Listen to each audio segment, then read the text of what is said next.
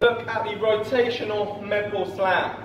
Okay, this is a fantastic exercise, especially for a lot of athletes that involve um, rotation in their sport. So boxers, tennis, football, and even just for everyday life. Okay, but when we're doing this exercise, we want to make sure, we want to make sure we're performing it properly.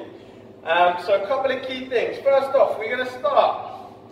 I don't want to be hunching around into the ground, extending. Okay, I want to get some bend in my knees. All right, I want to drop my weight down. I then want to try and keep my chest up if possible, so I'm not hunched and rounded.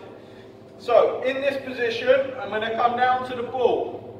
I want to then from here drive up. So I'm exploding off this side drive, come down, finish in the same position.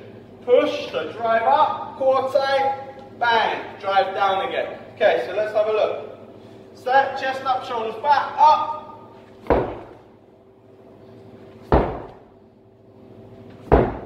Okay, so I'm getting that nice explosive drive from this position, extend, bang, explode down to the floor. Keep the core tight make sure you're doing it properly and that is a fantastic exercise to put into your exercise programming.